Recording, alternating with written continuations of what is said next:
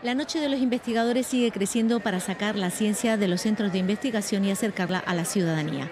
Este año, además de la Rambla, la delegación del Gobierno, se suma el Teatro Apolo. Habrá proyecciones y el IFAPA en el Teatro Auditorio de Vícar llevará a cabo varias actividades relacionadas con la agricultura. Pero aquí no acaban las novedades. Los que acudan podrán participar en un proyecto de ciencia ciudadana con la aplicación Monumay, que podrán ver en el stand de Fundación Descubre, organizadora de la noche a nivel andaluz. Por primer año la Fundación Descubre tiene un stand en cada una de las ciudades y sí que invitamos a todo el mundo, a ustedes los primeros, que, se pasen por el, por el stand de la Fundación Descubre, por la mesa de la Fundación Descubre, que busquen Monumay, que se bajen el app y que se conviertan en parte del equipo de investigación de la Noche de los Investigadores. También habrá actividades específicas para los más pequeños. Almería se sitúa nuevamente en los primeros lugares de número de investigadores que participan en esta actividad.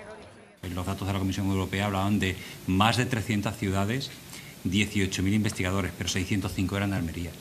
Que Almería sea el 3,3% de los investigadores que salen en la calle ese día en Europa, cuando si dividimos 100 entre 300 tendríamos que ser el 0,33, significa que Almería solo hace por 10 ciudades europeas. La ciencia, un año más, unirá a más de 300 ciudades europeas, entre ellas Almería.